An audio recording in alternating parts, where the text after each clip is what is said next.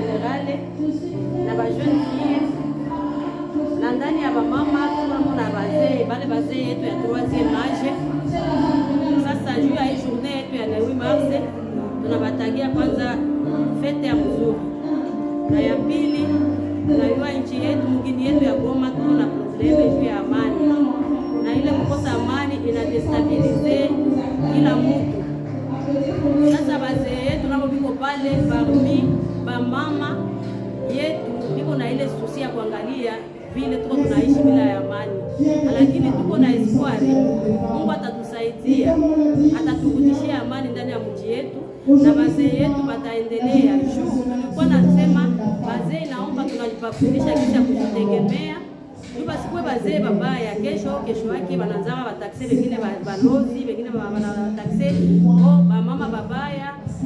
Ile yote ni sababu pato liko kidogo, na ndio maana tulisonjaka tukasema mzee tumfundishe kazi wakati angani na nguvu ya kutumika, afanye kale ka kazi ya mkono juu aweze kujitegemea, asisumbue watoto na apate heshima hata mjamaa na msosiete.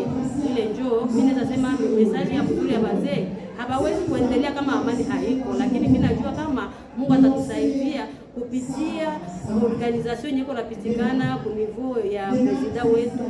Mimi najua amani itakutia hapa kwetu na kila kitu kitapita mzuri, na bazee watajisikia viko pesa vile bazee wa mafasi yote kupitia shida za mingi sana.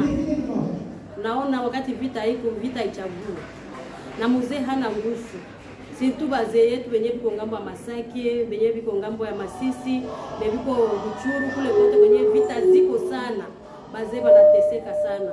Kusema mzee atoke mnyumba akimbie na mshinda, niko na bakwa, manabakwa kule, tunasikia huzuni, hatujue tufanye nini. Na pengine leo hii wanakimbia nakimbia, nafika mbele kidogo, anateseka na njala. Ile yote ni juu ya vita, lakini tunajua mzee akikala mzuri hata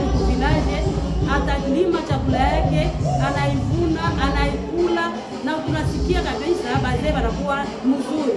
Mzee anakufa kwa wakati yenyewe nastahili, lakini hata kufa kwa wakati yenyewe kustahili juu ya hii mavita yenye tuko ndani.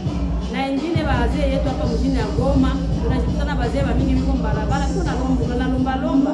Na ile mkulomba lomba unakutana mzee anaweza kutaniwa hata na gari inamgonga mtu mwenye alikosa sukari atapata kisa kuzikiwa, iko nabakia sasa na mumorge wanakosa na wakubazikisha. Hasa ile yote ndio tumesema hapana, tusinyamanze, tuangalie kama wazee yetu hapa Mgoma tunaweza weza kuwaangalia na kuwafundisha makazi kidogo kidogo, ili waweze kujitegemea, lakini amani itakuja tu